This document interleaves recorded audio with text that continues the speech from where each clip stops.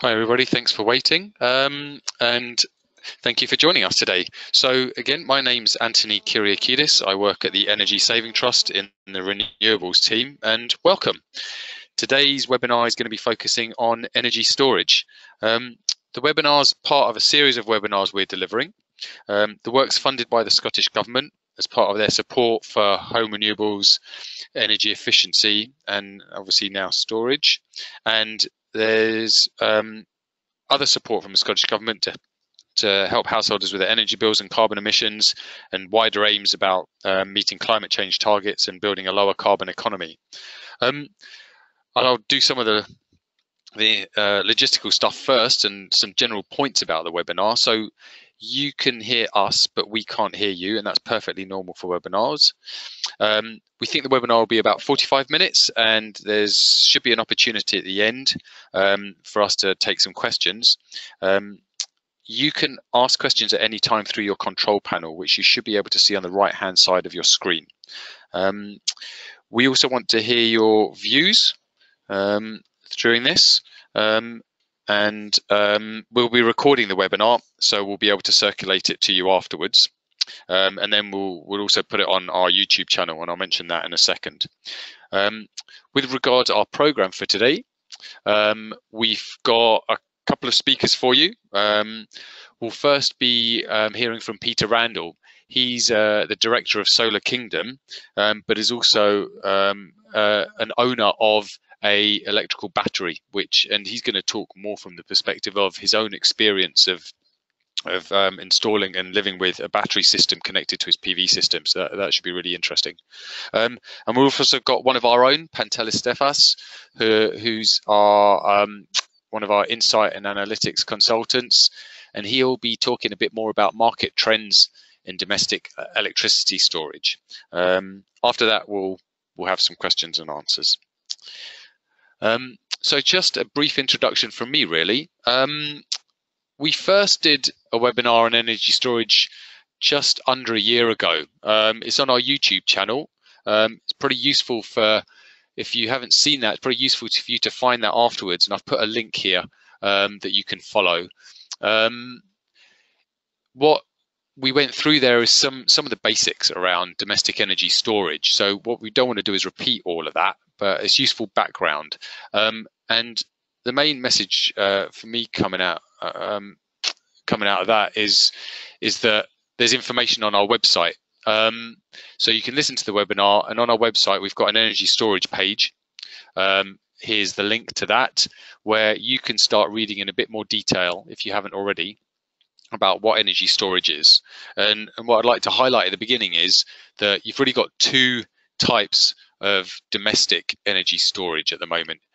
You've got domestic energy storage that will provide heated water, and you've got domestic energy storage that will provide electricity.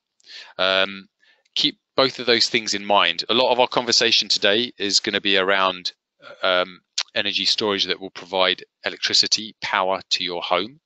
Um, but there are um, energy storage devices out there that will provide heated water to you. So you need to have a think about what it is that you want to actually get out of this system.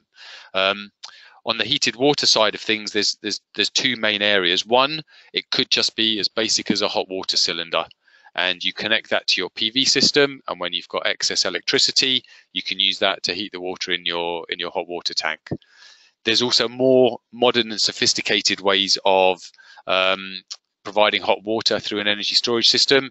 Uh, and the main one that we're aware of is something based on phase change materials. Sounds quite fancy, but actually it's the type of things you see in those little gel warmers, uh, just a, a, more sophisticated version of that.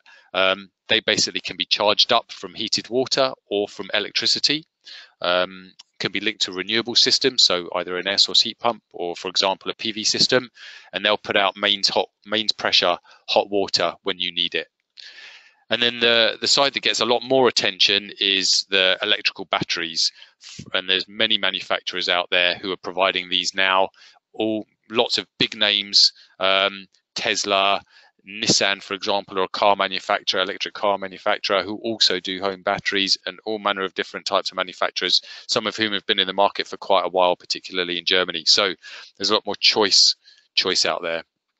Um, I that's probably it from me for the moment as a basic introduction. Really, we want to be hearing from um, Peter and Pantelis next. Um, so over to Peter. Hi, good afternoon to everyone. My name is Peter Randall. Uh, I'm here not only on behalf of myself as a business, but also as an active member of Solar Trade Association and particularly Solar Trade Association Scotland. Just to come on, I'm going to talk to you about a real life uh, case, which is my own home. And just to show there's nothing new, this picture dates from 1916. Um, I'm afraid I can't afford a man in a shed, but there we are. This um, is the home in question 100 years later. This is the reality. This is the arrays on my own home.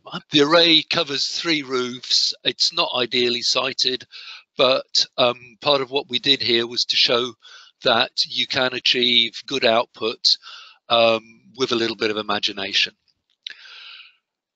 This is the culprit we're here really to talk about. This is the first Tesla Powerwall that was installed in Scotland. Um, that was the 28th of May 2016. Um, just to go on, what is important is really to say, does it work? And the results will show this. It's generating empirical data to show it works. And most importantly, from any prospective customer's point of view, it lets us understand how the variables affect the performance. So here is a day in April 2017. This graph shows the energy consumption in the property over a 24 hour period. Um, you can spot the cups of coffee that we had by each of those spikes. That's every time the kettle boiled. This is pretty typical for a UK household. There's a bit of a bump at the bottom uh, when we got up, and then there's the normal evening peak. This is called a load profile. And you can see that day we used 11.34 kilowatt hours. On the same day, here is the production from the PV system. It generated nearly 16 kilowatt hours of energy here we have one overlaid on the other.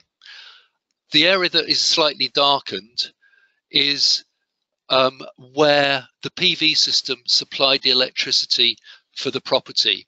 You can also see a lot of the energy was simply exported from the property and the red area is where electricity was drawn from the grid. Now, let's put in the battery. You can see here, self-consumption was quite high. 69% of the generated electricity was used.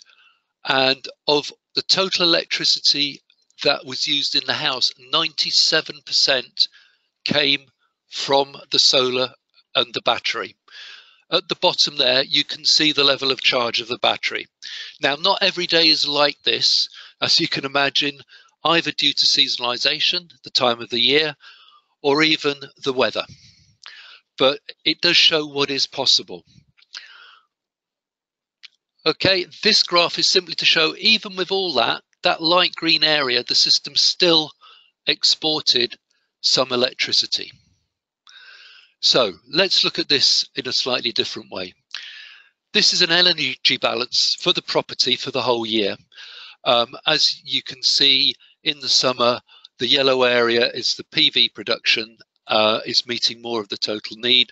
The blue is what was exported from the property and the orange at the bottom is what was purchased from the grid. Now, that there is the date at which the battery was installed. And you can see the dramatic drop off in imported electricity. And even at the end of the year, when the PV system is producing a lot less electricity, you can see that the import is lower. I'll just um, show you 12 months figures with the battery, which maybe gives you a better representation. Um, you can see uh, much higher use of the PV with the battery in the summer there is still excess being imported. Uh, wouldn't it be great to be able to shift that around? And I'm sure one day we'll be able to. So here are some results. Without the, the battery, the Tesla Powerwall, we were self-consuming 35% of the generated electricity, 65% of the generated electricity was being exported to the grid. With the battery, only 37% was exported and 63% was self-used.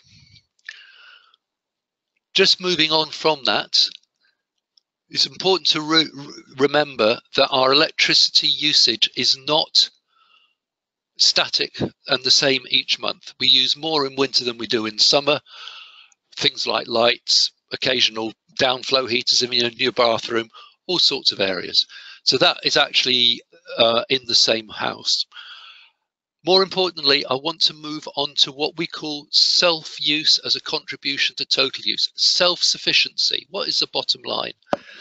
because of the design of the system that I have, where it produces about the same amount of electricity that we use, it may not be completely typical.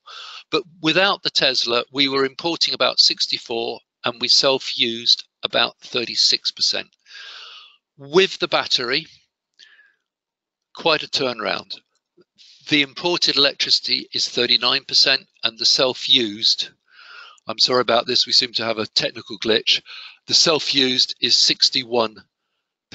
Now, there will be a set of slides available um, outside of this webinar giving other examples showing um, different system sizes and different uses of electricity. These figures will vary with those variables and with the size of the battery.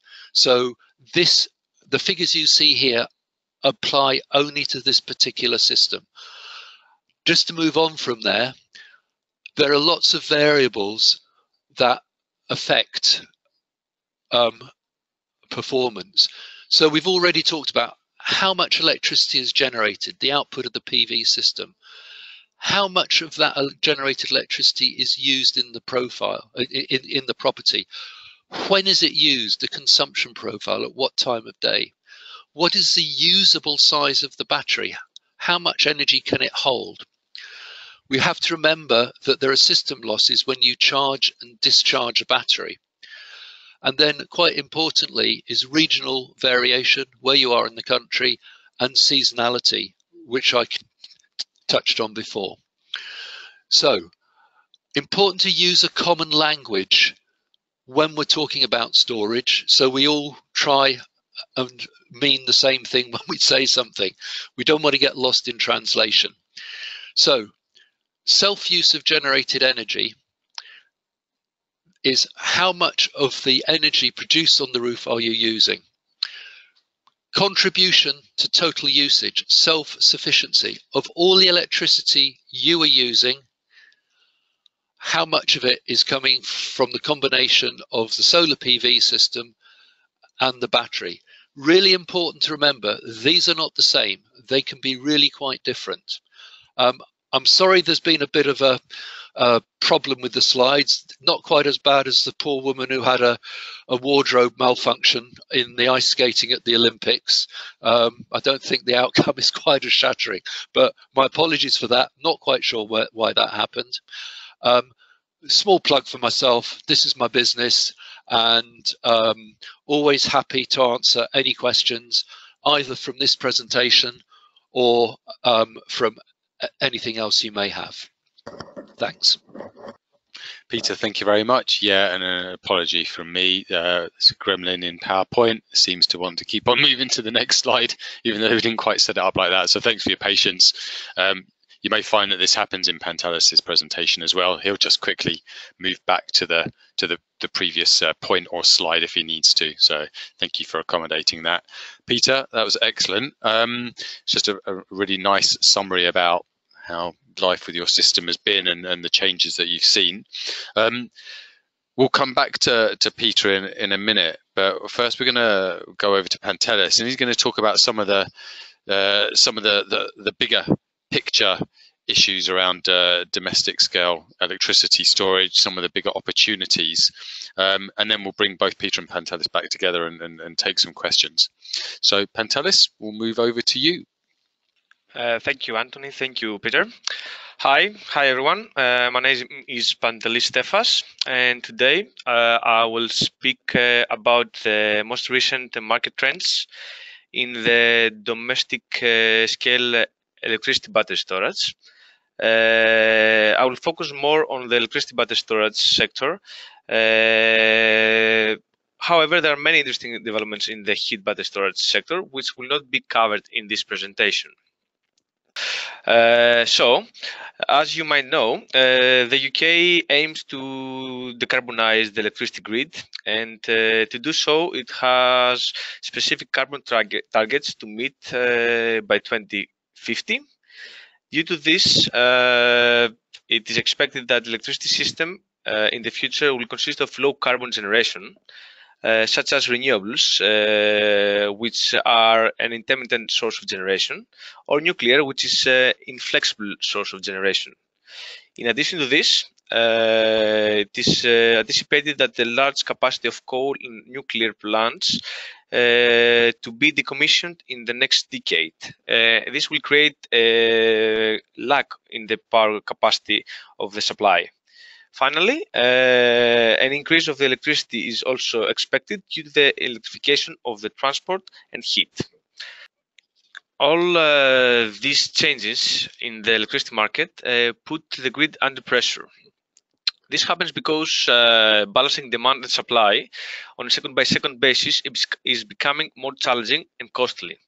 Uh, and as mentioned earlier, uh, a capacity gap is created in the supply side as the demands the demand needs to be met even during days when the sun doesn't shine or the wind doesn't blow.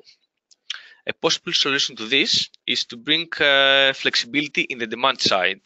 And in particular, uh, we can do this by de deploying uh, electricity battery storage. Uh, electricity battery storage has the ability to offer flexibility by basically responding quickly to grid frequency and price market signals, uh, providing uh, energy reserves uh, by charging or discharging when needed, and finally by shifting demand out of peak periods. Uh, as you can see, although electricity battery storage has many benefits to offer to the grid, it's not broadly established yet, and uh, this is possibly because it's still expensive. Um, the good news, though, is that it's getting cheaper. As you can see from this uh, graph, the cost of lithium ion is constantly falling, and it's expected to be uh, around $200 uh, per kilowatt hour by 2020, which is uh, about 80% less than what it used to be eight years ago. Uh, the reasons behind this trend is uh, the significant growth of the EV industry and the development of the lithium ion manufacture industry, respectively, uh, which basically take advantage of economies of scale. Uh, so, as you can imagine, this cost reduction makes the battery storage uh, more accessible to everyone. as Peter explained earlier, energy storage collocated with microgeneration could uh, dramatically improve uh, homeowners' self-consumption and reduce their their energy bill. Uh, this is basically the most common business model for small-scale energy storage, and uh, the UK government has realized that and they are keen to support these applications. However, uh, there are other market transitions in the electricity grid grid, which uh, could also develop new opportunities for uh, battery storage. One of those is the smart meter rollout, which uh, could facilitate the establishment of this technology. Uh, nowadays, there are about uh, 5 million electricity smart meters across the country, and it's expected that uh, by 2020, all domestic customers would have one very optimistic.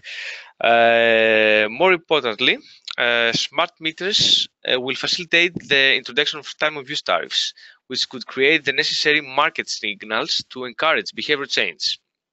Uh, to make it clear to you, in the following slides, I will demonstrate in a case study how household with time of use tariffs could benefit from electricity battery storage.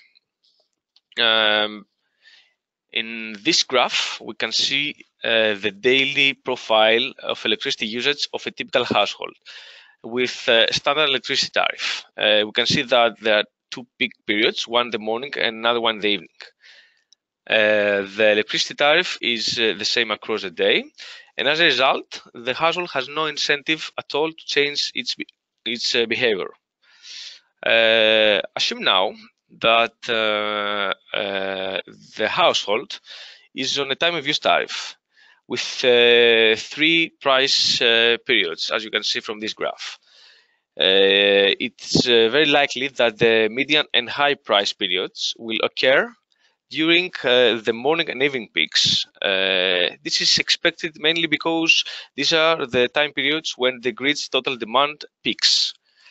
Uh, this means that if the consumption of the household remains unchanged, the electricity bill would increase.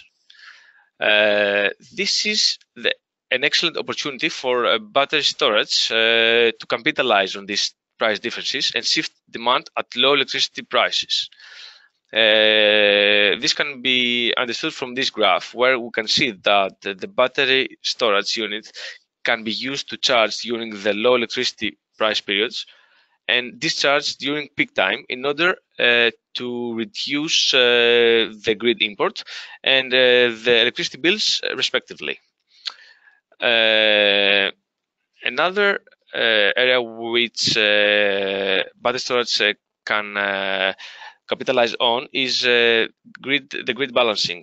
As we discussed earlier, battery storage can contribute to the grid balancing process by grid balancing process, uh, we mean the process followed by National Grid, the system operator, to match supply and demand on a second-by-second -second basis. Uh, to do so, uh, National Grid have uh, developed a range of balancing services. This is how they called. Uh, firm frequency response, enhanced frequency response, and capacity market are just a few of those. Uh, so what happens in reality is that National Grid uh, uh, pays all the stakeholders who participate in these balancing mechanisms. And uh, for your reference, uh, this is this balancing costs represent around 15% of the typical electricity bill. And only in 2017, UK's flexibility market had a value of 1 billion pounds. battery storage can contribute in this uh, balancing mechanism by tracking the frequency of the grid and charging or discharging when it's required. However, small uh, scale electricity storage units cannot directly access the balancing mechanism, mechanism uh, because they have limited capacity and they require a third party to interfere, uh, the so-called aggregator. The role of the aggregator is to basically group together and manage uh, multiple uh, small scale batteries. Uh, this aggregated load looks like a virtual power plant uh, on the grid level and uh, it is capable to sell grid services to the system operator. Uh, so how this virtual power plant works in reality can be seen from this picture where it shows that the aggregator can access the distributed energy storage units remotely, uh, control them and manage them in such a way to help balancing the grid. And uh, finally, uh, they reimburse the household for the services provided. Uh, so to sum up uh, with everything, uh, battery storage can offer multiple environmental and economic benefits both to the society and the individuals. Uh, on the society level, uh, battery storage can uh, facilitate the higher penetration of the renewables, can uh, reduce uh, the grid losses, offer security of supply and grid reliability.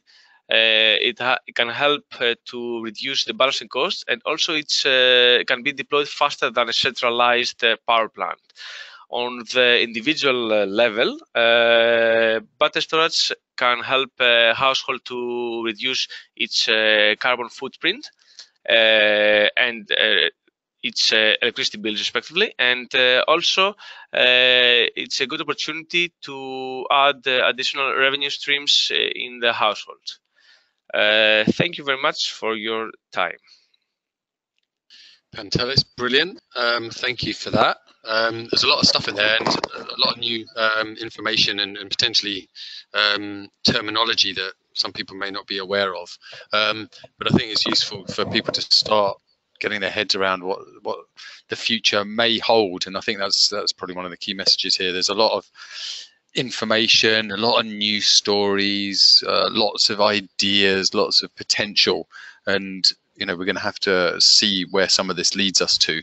Um, what I'm going to quickly do now is um, is basically open things up to questions. Um, but before we ask the first question, I just wanted to to raise a point that one of our listeners has has, has sent through to us, and I'll, read it out because I think it's just it's, it's interesting. Basically, says I have joined um, the webinar as I've recently upgraded my solar to a, a 6.4 kilowatt system. I've bought an electric car. I've installed a Zappi charger, and I've installed a Tesla Powerwall 2 battery. I'm now running without the grid, uh, full solar and um, Powerwall 2 usage for two days in Scotland in February. Um, and the, the, person who wrote this basically said this may be of interest to those on the call. So I think it's, this sort of demonstrates some of the possibilities that, that are available to people. Um, as for questions, um, we've got a question about um, comparing energy storage solutions. So basically, someone's asked, um, and I'll, I'll, direct this probably to Peter. Someone's asked about uh, a comparison of installing a, um, a uh, an electrical battery versus installing um, an Immersun unit, which is a diverter. It basically diverts your electricity from a PV, for example, a PV system. Instead of it going out to the grid, it diverts it into a hot water tank. Um, what sort of comparative ease of installing that type of a system with a diverter compared to installing an electrical battery? Um, and what are the maybe the cost comparisons as well? Okay, um, I'll jump straight in first with the idea of diverting heat into hot water um, using a device like an Immersun, or there are several others on the market out there. Um, first thing you need to consider is what is your cost displacement? If you're on gas, you're probably paying about four pence per kilowatt hour of gas. Um, and that would be what you would be saving by taking your electrical energy and heating your water with it. If you're heating by electricity and you're on something like economy 7, then the saving is going to be significantly higher. You may be paying uh, 8 or 9 pence per unit. If you already have a hot water cylinder, um, fitting a device like an Immersun, and I'll look at the, the more high quality, high end units, um, then the cost is going to be in the hundreds if you don't have a hot water cylinder, and let's say you have a combi boiler, things are going to get a lot more complicated. You've got to look at the cost of the hot water cylinder and how that is going to be integrated into the system. With a combi boiler, you have to look at what's the maximum um, inlet temperature you can have of hot water, um, unless it is what we call a solar compatible one. Uh, you may only able be able to put water in at 26 degrees. So if you've heated the water, you would then have to mix it back down if it wasn't completely hot enough, or else you've got to be able to divert it. It gets quite complicated.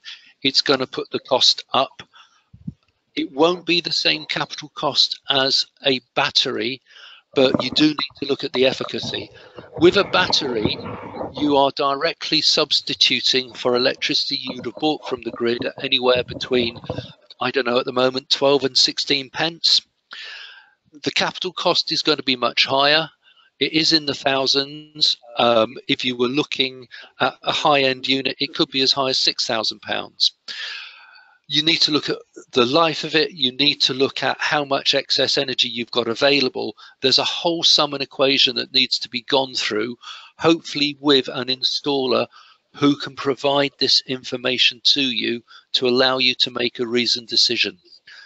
Um, again, we heard about a gentleman who has an electric vehicle. And not wishing to speak against myself, because I'd love to sell you a battery, do not forget that an electric vehicle is just a battery on wheels. Well, it's a bit more. Um, I'm sorry if that sounds a bit vague, but in all of this, it's about the detail. And without the detail, you can't make a reasoned decision. Brilliant, thank you, Peter. And I think it's also worth pointing out there that um, we've compared there sort of the the sort of cheaper end of the of the the spectrum with um, a diverter uh, into an potentially an existing hot water tank to the, probably the, the more costly end, which is sort of electrical batteries.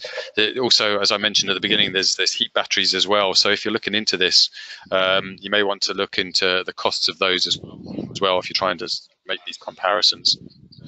Um, so we've had a couple of questions around heat pumps come in. Um, the main thing being, can a bat- uh, an electrical battery run a, an air source heat pump? Um, uh, Peter, have you got anything to, to mention on this? Or um, yes, I will very quickly. It's quite an easy question. If you look at the seasonal production from a PV system with or without battery storage, and look at the seasonal heat demand of uh, a heat pump, you will find there are only two shoulder periods in the year where it is likely there would be any excess from the PV that could make a contribution to running the heat pump. Um, one day I do fully believe that we will have seasonal uh, storage of energy and it may happen quicker than we think. But as of today, uh, they're not mutually exclusive, but there is not a great deal of crossover. Okay, thank you, Peter. Um, you may find that if you've got a wind turbine then that'll be better matched um, because typically you'll probably be getting more production in in the sort of autumn winter months than you would with a PV system.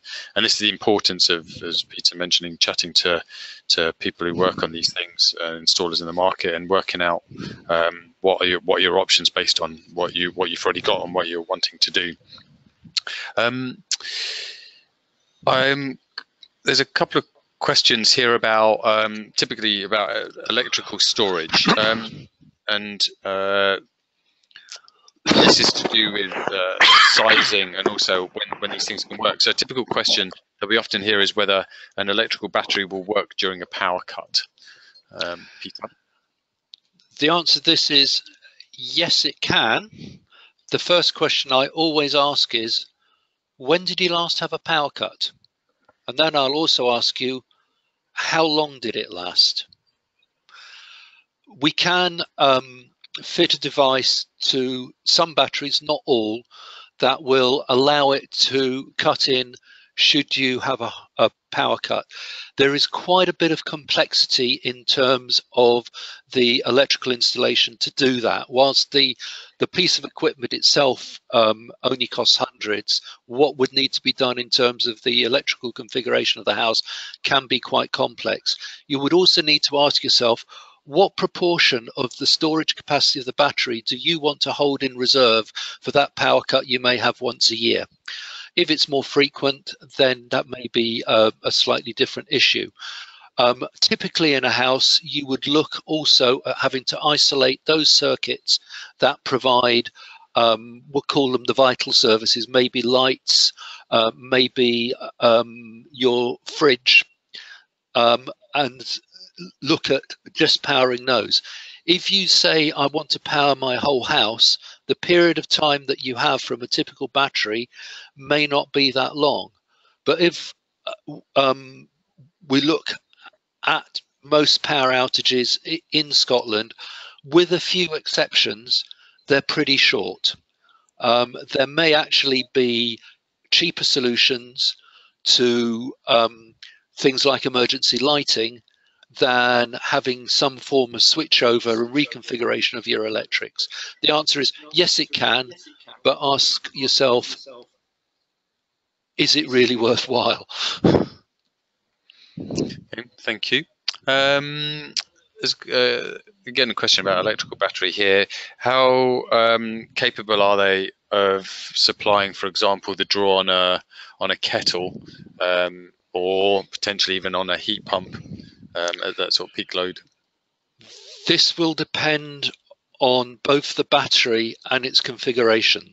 All battery systems have a maximum charge and discharge rate. The charge rate of its from PV will be governed by the amount of electricity generated. The discharge rate can be dependent on how it's configured in terms of regulatory requirements from there being no possibility of ever exporting to the grid. Um, if we take something like the Tesla Powerwall 2, it will discharge at up to five kilowatts, which is far in excess of your kettle, which is three kilowatts. Um, a lot of batteries will only discharge at two and a half kilowatts. Having said that, um, you may find that your three kilowatt kettle doesn't actually draw three kilowatts. So again, it's looking at what is typical of electricity draw in the house, what is peak load. Um, maybe if your biggest peak load is a three kilowatt kettle, go and buy a two kilowatt one. They are available. Thanks, Peter. And it's probably fair to say with things like an air source heat pump, they're going to have a higher load than um, a kettle will, and so startup. Yeah, particularly on startup. So you, are you're, you're likely to be needing, um, you know, to draw in electricity from the from the grid uh, over and above what you're going to be able to get from a battery. Um, there's also a question often that crops up about um, sort of regulation in the market uh, regarding battery systems. So whether it's a heat battery or whether it's an electrical battery, um, obviously all of these items need to pass the British standards. They need to pass any sort of legal sort of regulations in there. Um, where there's maybe a difference with renewable systems is at the moment there isn't a separate sort of code um, and set of standards that, uh, for example, exists for a solar PV system. Um, our understanding is that these things are being looked at, but uh, the current state of play is that nothing currently in place. So what we would always always mention is that you know uh, when you're going out and investigating these sorts of systems, find out what um, the manufacturer warranties are, what their guidelines are um, with regards um, installers of those systems what those manufacturers expect of installers and what training they've undertaken. Um, and there's particularly potentially consumer protection um, elements in place there. So there's consumer bodies who deal with renewables, for example, the Renewable Energy Consumer Code um, and HIES, their consumer codes for renewables, and they have elements of them that also cover consumer protection issues around energy storage and the installation of batteries. Um. Um, so um, we would we would suggest you you investigate those as well and speak to installers about um, what um, for, in particular around what um, estimates they're providing to you around savings, um, as Peter was mentioning earlier. How have they calculated that based on your very specific scenario? For example, when you're in and when you're out, when you're using power when you're not, the size of the system that you're anticipating putting in, etc. Um, Peter, a question, uh, maybe Pantelis actually, um, a question that often crops up is how long will a battery last and, and how does that change depending on the, the type of electrical battery that you have? Um, would you be able to provide uh, yeah, some information sure. on that? Uh, it really depends on the battery technology. Uh, lithium ion tend to last longer than lead acid. However, uh, most of the products are based on lithium ion. And also it depends on the usage. Uh, if you use the battery for one cycle per day, uh, I'll say that uh, it can last for 10 years. But uh, if uh, you install a battery in a very sunny location in the UK and you can charge and discharge the battery more than one time per one more than one type per day, then uh, the lifespan of the battery will last uh, less. I don't know if that's. Okay, thank you, Pantelis. Yeah, and I think just coming in here, it's quite important to look at what warranty is offered on batteries. Um, some give a um, guarantee based on time and some give a guarantee based on charge cycle. Um, you may find that somebody can't even give you a definition of what a charge cycle is. Uh, some of the higher end batteries also say 10 years or an amount of energy flow through the battery. and this will be in megawatts. Batteries do uh, degrade over time, and you may even find that one will um, say the battery will still have X percent of capacity at a certain age. Uh, when you're looking at sizing a system in the first instance, you may want to take that into account uh, and slightly oversize the system on the basis that that may give you a longer life that at eight or 10 years, the usable capacity of the battery still meets the needs of the property. Um, but again, be very careful in looking at what the small print is in defining, especially what is meant by a charge cycle. To my mind, it's from completely empty to completely full to completely empty. Now, in a lot of cases, um, that may not be the case. A battery may be half full when it starts to be charged, or equally, it, it could be completely empty and only charged to half full. So um, it, it's something that is not maybe as clear as it should be. Uh, if a battery has a time warranty as opposed to a charge cycle warranty, uh, at least it's a little clearer. Thanks, Peter. Um, and, and just for balance, uh, with regards to the sort of the heat batteries that I was mentioning that produce sort of mains pressure hot water, the one we're aware of on the market at the moment, there only seems to be one, is from a company called Sunamp, um, and they believe that there's no degradation of their system over, and I think they're into the tens of thousands of cycles. So these are the sorts of things that you need to discuss with those with the manufacturers or the installers to provide evidence of of what they're claiming um, and reassure yourselves as to as to the type of system that you're considering. Um, we're unfortunately running out of time for the webinar, uh, so it was really just uh, I was going to finish with some some next steps, um, and, and, it's the sort of obvious stuff really. Um, do your research, work out whether you actually want heat um, from uh, that's going to be most useful to you, or whether electricity is going to be most useful, or maybe both. Um, investigate which renewable systems the storage unit is going to work with, and you're going to make, need to make some considerations then about how the system is designed and how your system will charge. Um, understand your rights as a consumer and the standards that installers should meet. Um, so as I mentioned, there's guidelines. There's obviously best practice. Uh, for example, there's a guide from the IET that talks about best practice for installers, um, and they can choose to meet those best practice guidelines or not. That's up to them. Um, obviously, what you demand of them is is is within the contract that you will have with them. And as I mentioned, there's also consumer codes um, that provide a level of consumer protection as well, and whether you use an installer who has signed up to one of those consumer codes. Um, prepare questions. Um, and as I mentioned before, how any financial benefits are calculated and sort of reassure yourself as to how those calculations have been done and what assumptions have been made.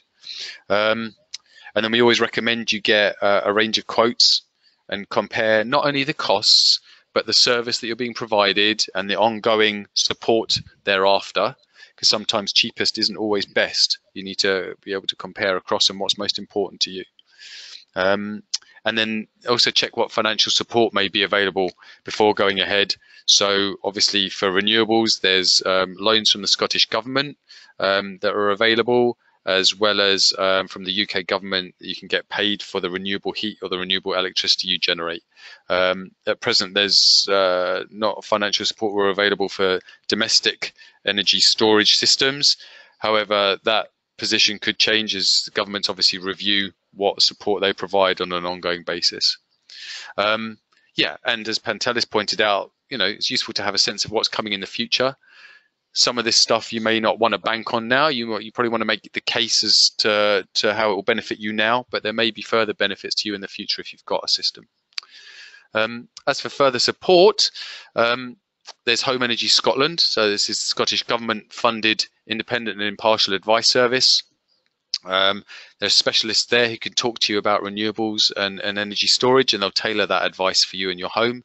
And they'll give you some um, advice on suitability, you know, getting quotes, potential savings that you may be able to make, and then direct you. Um, the next stage would be going in and speaking to installers. Um, and for people who may already have a system, we're looking for people um, who can join our Green Homes Network. this is a network of homeowners who've actually installed um, renewable systems, energy efficiency improvements in their home. We're actually actively seeking homeowners who've got energy storage systems who would be happy for there to be a case study on on the Energy Saving Trust website, and would also be happy for um, other householders to be put in contact with them, so they can talk over the phone, or potentially even have other homeowners come around and have a look at their system and speak to them face to face. Be brilliant if you could contact us um, if you're able to do that. Um, and obviously, there's other websites out there beyond ours. So as I mentioned, the Renewable Energy Consumer Code and HIES are consumer codes. Um, the Microgeneration Certification Scheme um, manufacturers who are out there producing this, and the IET who've got this best practice guide for installers. Um, and there's basically uh, um, the phone number for Home Energy Scotland. Um, get in touch with them to to find out more. As I mentioned, it's independent, it's impartial, it's a free phone line, it's Scottish Government funded. Um, so um, if you want to find out about upcoming webinars, you can follow our events page on the website. Um, we will be doing more in the coming months.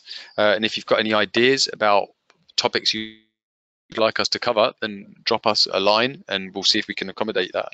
Um, so just a final thank you um, from me to you for attending. And thank you, um, huge thanks to Peter and Pantelis who've joined us today. Goodbye, and I hope you tune in for some of our future webinars. Thank you.